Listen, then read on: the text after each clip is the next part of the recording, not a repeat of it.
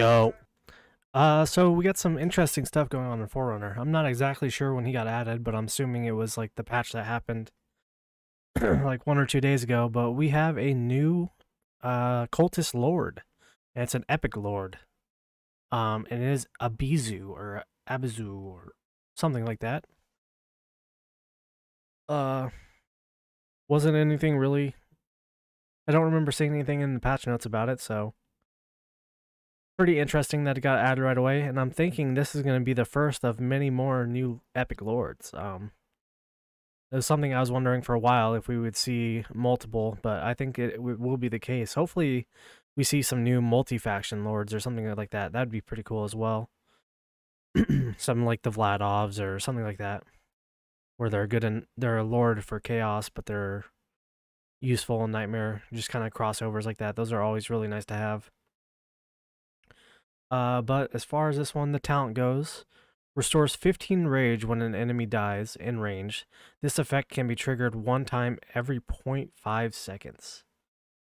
So, just a nasty amount of rage regen going to be able to happen if they have like decent multipliers. Uh, there's their standard range. Um, pretty decent attack for an epic. Um, Cost is a little expensive, at 22 cost. Uh, but the epic ability, it's the same exact one as uh, Aeon. So increase faction allies basic by 10%. Increase faction allies damage dealt to enemies inflicted with stun, freeze, immobilize, and other control effects by 20%. Uh, and then let's go through her kit. So basic AoE magic attack, 100% AoE damage up to 5 enemies. Uh, for her ult, deals 100% damage 3 times up to 10 enemies in range. Every one target hits grants 1 stack of Psych Force, which is increased uh, stack. Each stack increases attack by 3% up to 10 stacks, so a 30% increase if they hit 10 targets uh, to the hero. So that's pretty nice. The attack boosts are always very good because it comes off the maximum attack. So usually quite a big buff. Um, it's a really cheap cost one as well. So this should be going off a ton. Uh, when the hero has Psych Force and hits enemy with basic attack, it generates a ground effect arrow which deals 10% damage per second for 3 seconds. Airborne units take half the damage instead. I think she sounds pretty decent, honestly.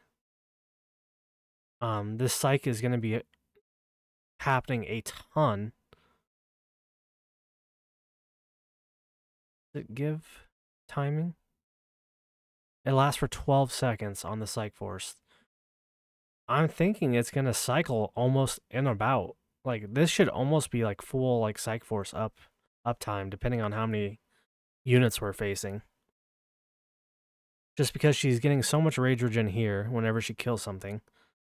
Um, if you just give her, like, a fast attack speed and, like, a Nightmare Samsara, she's to be rage regenning like crazy no matter what. So this uptime could be crazy. And then we can go look at Awakenings.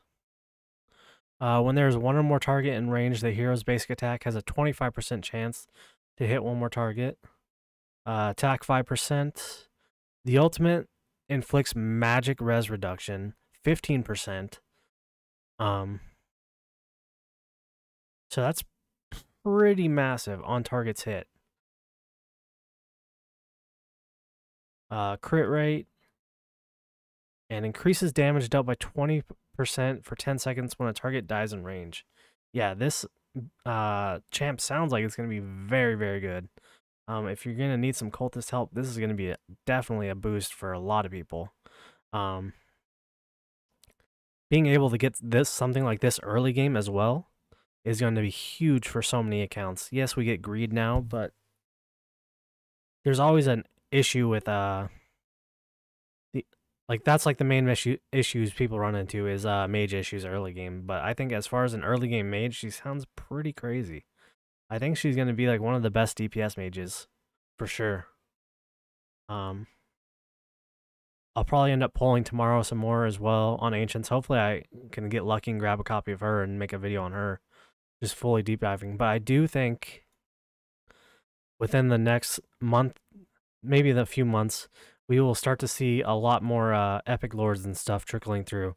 So right now I'm on Forerunner. Obviously, we have Vladov. I went through him.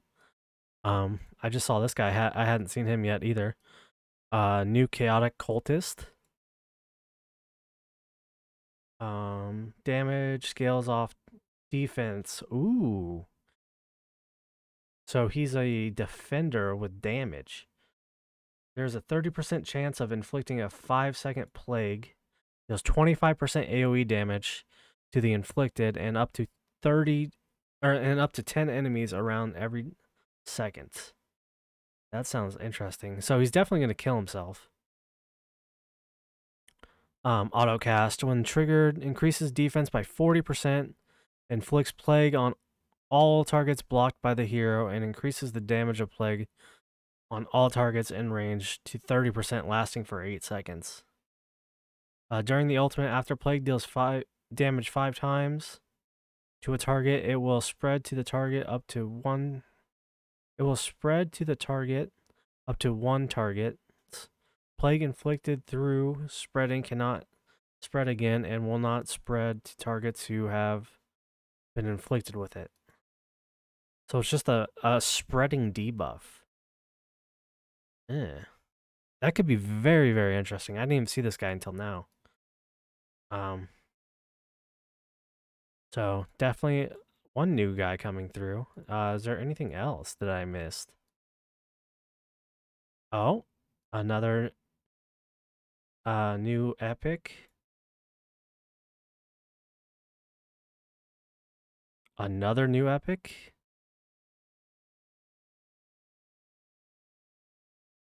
Any new Legos or anything? Here's Artemis, the coolest looking champ.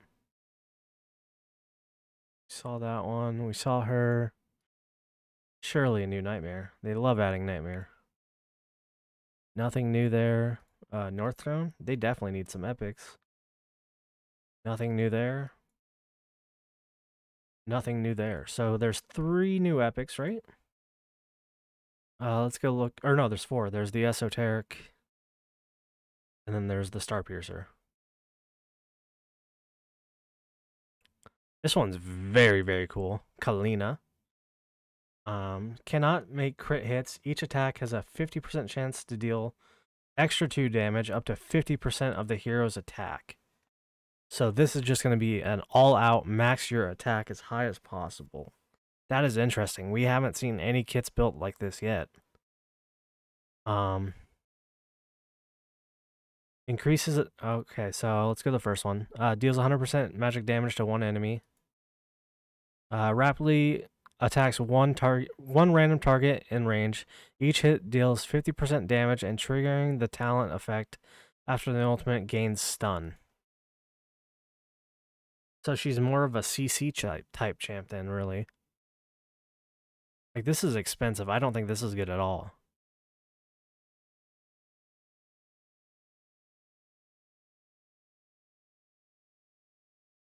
At 18 cost as well. Increases attack by 20% when there's when there is more than one enemy in range, each one additional enemy reduces the attack effect by 5% down to 15%. I'm not a big fan of this kit, honestly. While she looks awesome, uh, I don't think the kit's that crazy. The ultimate no longer inflicts the hero with stun at, at its end.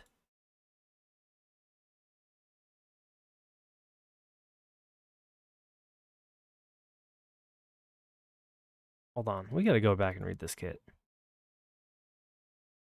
Oops.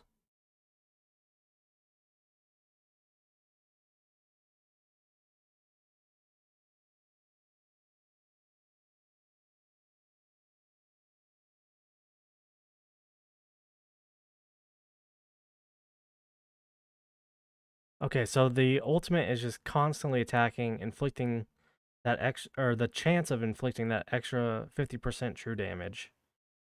So it's just a true damage ultimate on one target. I wonder if it locks one target or what.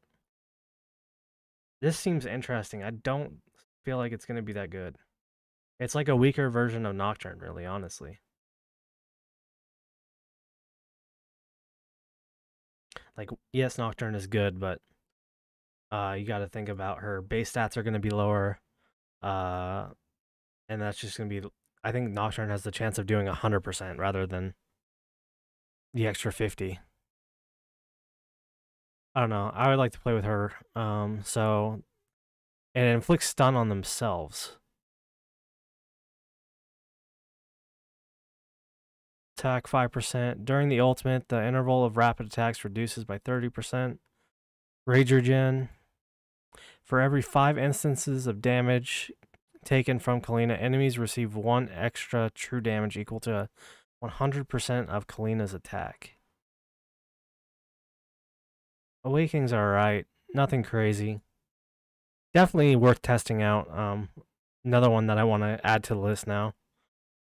Uh, my esoteric on my Forerunner is so weak.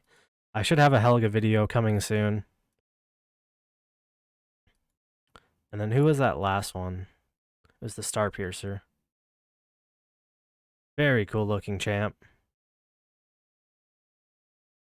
Esme. Uh, basic attack has a 50% chance of bouncing to one extra target and a 30 30% chance of inflicting poison on the target. The poison effect. Okay, so deals 100% damage to one enemy, prioritizes airborne units. when activated, increases damage by 45% and each basic attack lands two consecutive strikes instead. The second strike will attack a random enemy in range.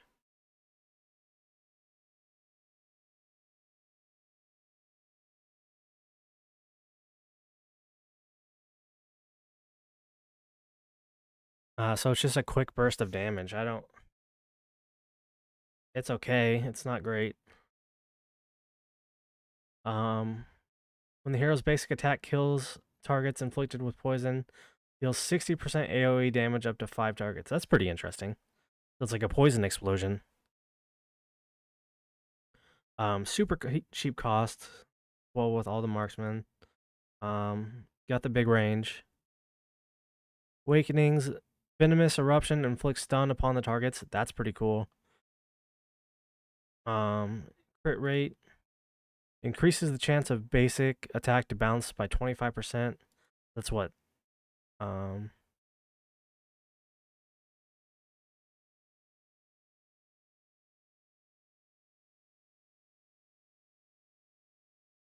okay. Uh, penetration 5%.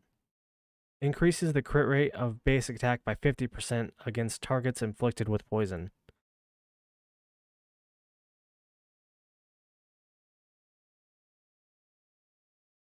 Hmm.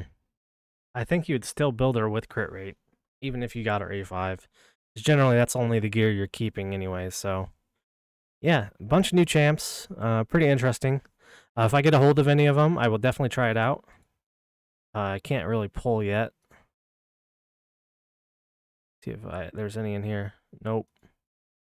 So yeah, uh, that's all for this video. Uh, if you guys enjoyed, like, comment, subscribe. Let me know what you think about the new champs. And I'll see you guys in the next video. Later.